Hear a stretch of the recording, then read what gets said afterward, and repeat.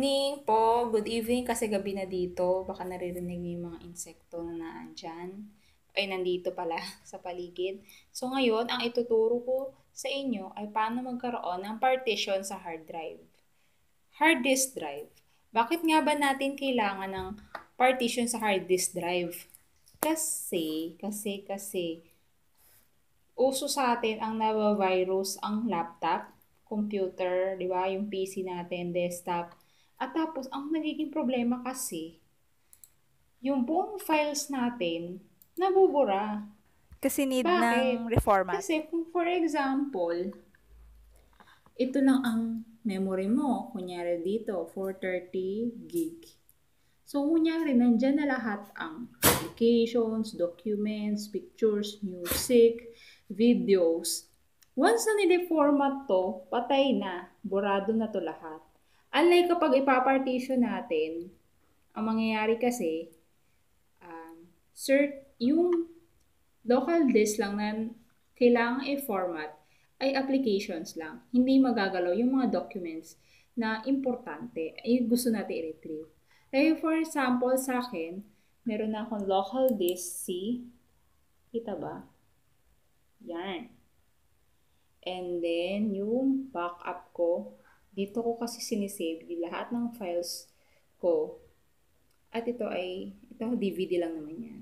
So ngayon, ituturo ko, paano ba natin lalagyan ng partition? Ah, uh, this, ngayon, itong sa case na to, ah, local disk, ito yung pwede natin hatiin. Ito kasi pwede natin, pwede din naman, pero pwede rin i-delete. Pero dito, dito na lang tayo kukuha, okay? So, let's start.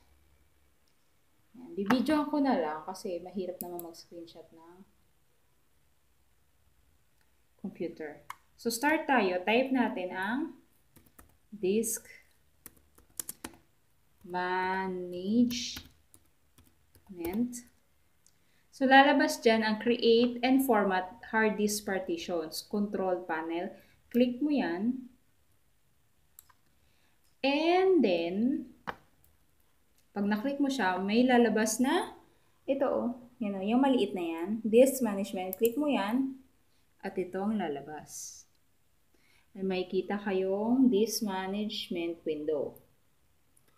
Dito, makikita nyo lahat ng memory na nandito sa laptop nyo. So, dito sa akin, may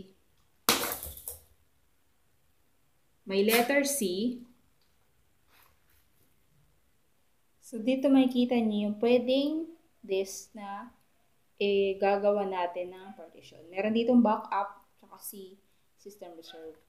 So, dito, pwede natin itong hatiin. Itong C, try lang natin. Right-click, and then lalabas to. Punta kayo sa shrink volume. Pagpunta nyo sa shrink volume, click nyo lang yan. Lalabas ang window. Antayin nyo lang yan querying volume for available shrink space. Please wait. So, antayin nyo lang. Please wait, di ba? Medyo matagal siya, pero, yan. Lalabas yung ganito. Shrink C. So, makikita nyo dito, total size before shrink in MB. May figure dyan. And then, size of available shrink space in MB. Enter the amount of space to shrink in MB. So, ibig sabihin nito, ito yung total size. Ito yung pwede mong i-shrink hanggang 236 lang. At yung dito sa baba, ito yung pwedeng ma-edit. So, for example, hahatiin natin tong shrink C, kaya hindi ko na ito babaguhin. Pero pwede nyo naman baguhin basta hindi lalagpas sa size of available shrink space in MB. Hindi dapat lalagpas dito. Hanggang ganito lang. Okay? So, click natin ang shrink.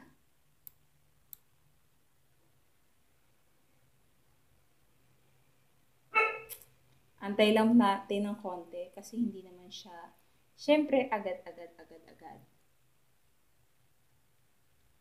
Yan. Ang mangyayari is, meron siyang, magkakaroon ka na ng unallocated. Pag magkakaroon ka na ng unallocated, pwede natin like, i-right click. So, dapat mo talagang i-right click siya. Punta ka sa new simple volume. Uh, welcome to new simple volume wizard. This wizard helps you create a simple volume on a disk. A simple volume can only be a single disk. To continue, click next. So, next ka lang.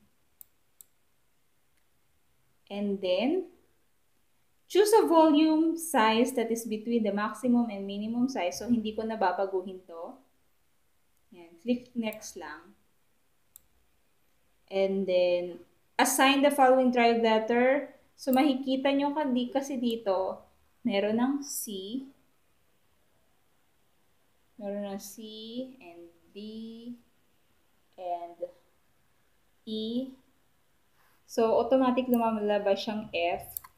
So, hindi ko na babaguhin yan. Pwede rin naman baguhin nyo kung anong gusto yung letter, kung kasing letter ng, kung parehas ng letter ng pangalan nyo o ng jowa nyo. Kayo bahala. Pero dito, gagawin ko ng letter F. Okay, click mo lang ang next. And then, sa format partition naman, to store data on this partition, you must format it first. So, dito may mga option ka kung ano ang pipiliin mo. Choose whether you want to format this volume and if so, what settings you want to use.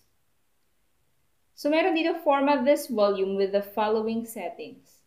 File system, allocation unit size, volume label. Dito, hindi ko na lang siya lalagyan ng pangalan. So, ang lalabas dyan, automatic F. Makikita nyo mamaya dun sa um, this PC window. So, click lang natin, ah. Next.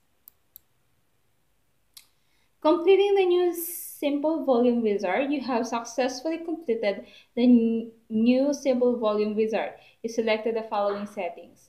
Volume type, simple volume, this selected, volume in size, drive letter and path, file system, allocation, unit size, volume level, etc. Dito. Yan, yan ang mga settings na pinagagawa natin kanina. To close the wizard, click finish. So, pindutin lang natin yung finish.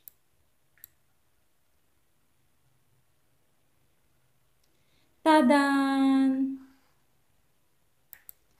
So, ngayon, meron na tayong bagong disk nahati na siya.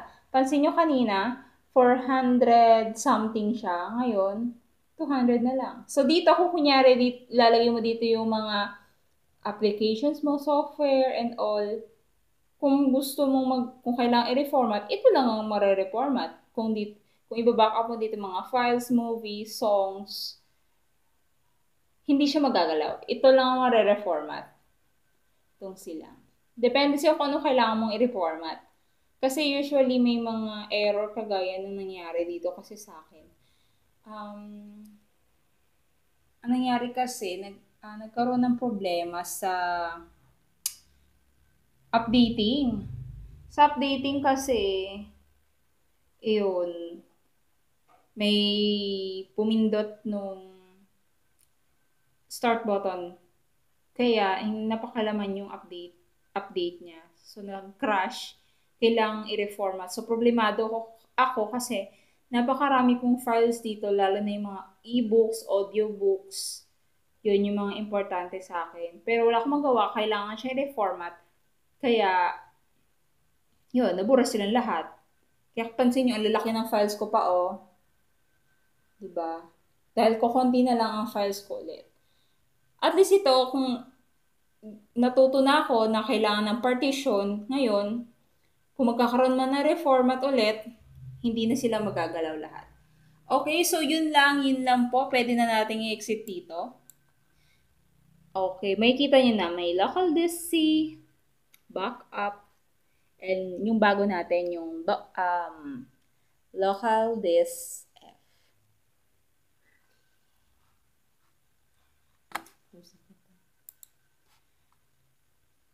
So, yun lang. Uh, sana may mananatutunan kayo. So, kung nagustuhan niyo yung video, click, please click like and subscribe to my channel for any tips, advice, unboxing, o kung ano-ano man na gusto nating malaman sa buhay-buhay. Please click subscribe. Yun lang. Thank you! Please like, share, and subscribe. Thank you for watching!